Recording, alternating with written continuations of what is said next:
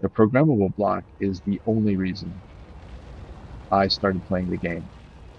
I'd seen videos on YouTube, and I was like, "Oh yeah, that's pretty cool. It's uh, you can build stuff and mine things, and then build more of the same stuff." Okay.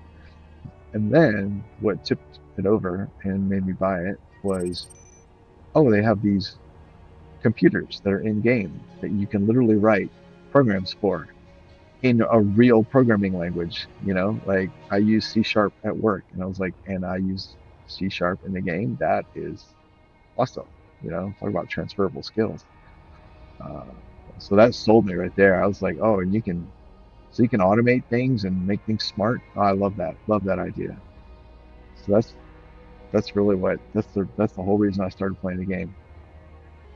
I'd have probably quit after my first game session. You know, I, I think I played. I think when I first got it, that first week that I got the game, I probably played six, maybe a dozen hours or so. I don't know. But after that, I, I would not have come back if it hadn't been for the fact that I knew you can program this. You can program computers in this game and make things do stuff. You know, like the vector thrust flight and all the other stuff. This game is awesome. Like you can literally make it do whatever you want. Not literally, but figuratively, like within the context of the game. If that capability hadn't been there, yeah, I wouldn't be playing still. I'd be like, yeah, all right, that's fine. Moving on.